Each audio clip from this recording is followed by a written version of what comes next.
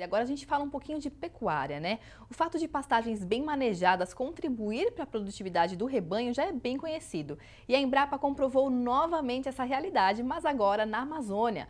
Um estudo desenvolvido por mais de duas décadas em parceria com pecuaristas do Acre mostrou que pastagens de alta performance são capazes de aumentar em 30% a produção de carne por hectare, melhorando a rentabilidade das fazendas e ainda trazendo benefícios para o meio ambiente, como a ciclagem de nutrientes no solo e também o sequestro de carbono. Os resultados e técnicas que permitiram esse resultado, chamado de Sistema Guaxupé, será apresentado amanhã, mas nós já trazemos alguns detalhes para vocês agora aqui no Planeta Campo com o pesquisador Carlos Maurício Soares de Andrade, que está aqui com a gente. Muito, seja muito bem-vindo, é, Carlos, desculpa.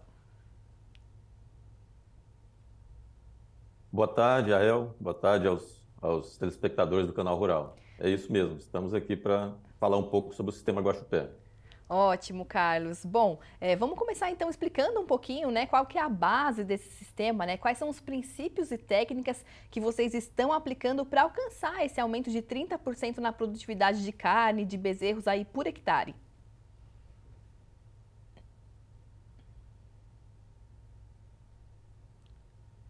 Então, esse trabalho começou em 1998, né, em parceria da Embrapa com alguns pecuaristas aqui do Acre. É, e nós chegamos agora num sistema de produção que ele é, tem se mostrado muito interessante para essa região. Né? Ah, o uhum. sistema Guaxupé ele fundamenta em quatro princípios. Né? O primeiro dele é uma diversificação muito bem feita de forrageiras na propriedade. A gente sabe que a gente tem uma diversidade de solos, de ambiente muito grande aqui na Amazônia, e aqui no Acre não é diferente, com solos mal drenados e a gente precisa utilizar, combinar as forrageiras é, recomendadas pela pesquisa para a região de uma forma bastante inteligente.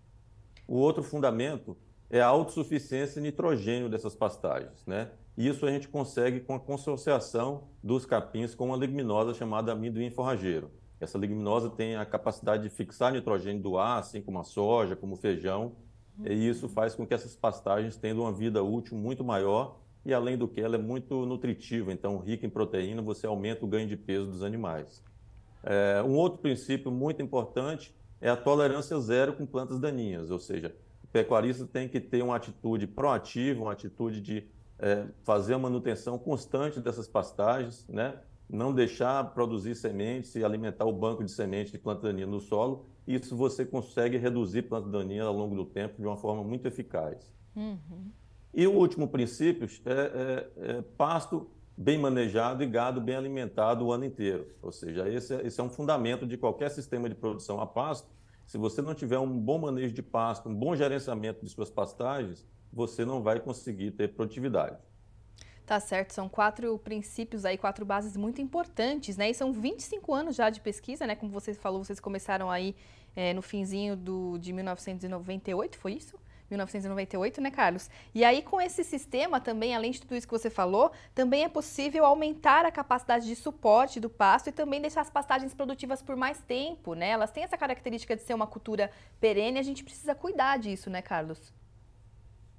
Exato. É, a, gente, a gente tem hoje é, é, sistemas de intensificação da pecuária que são baseados em pastagens temporárias, por exemplo, os sistemas de integração lavoura-pecuária. Né?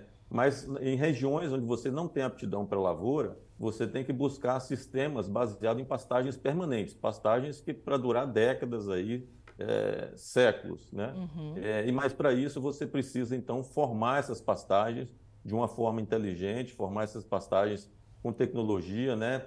Diversificando as forrageiras na propriedade e assegurando a manutenção dos níveis de fertilidade do solo e nitrogênio é muito importante para isso.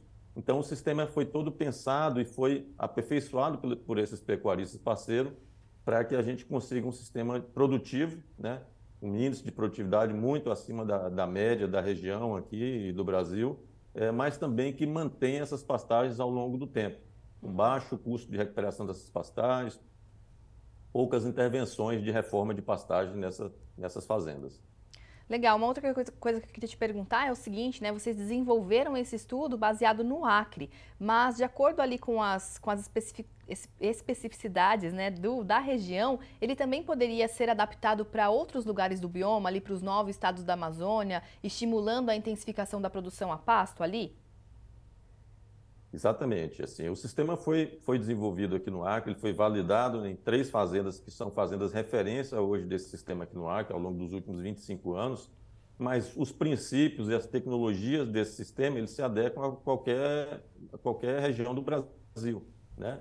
Então, assim, o sistema se adequa muito bem a todas as regiões em que você faça um investimento em pastagens permanentes aqui na Amazônia, né? E a gente está falando aí somente nessas áreas, áreas sem aptidão para integração lavoura-pecuária, áreas com solos mais mal drenados ou com topografia um pouco mais ondulada, a gente está falando aí acima de 20 milhões de hectares de área de potencial de adoção nesse sistema. Somente aqui no estado do Acre são 2 milhões de hectares de pastagens com aptidão para o sistema Guaxupé. É, então, assim, é, os produtores de todo o Brasil mais produtivos e sistema de produção é, mais, mais bem adaptados à nossa região. Bacana, Carlos. Muito obrigada pela sua participação aqui com a gente. Foi um prazer conhecer um pouquinho mais desse sistema aí que permite tanta produtividade no bioma amazônico.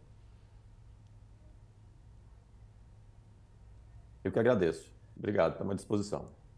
Obrigada a você mais uma vez. Planeta Campo. Patrocínio. JBS. Alimentar a mudança é o nosso compromisso. Apoio.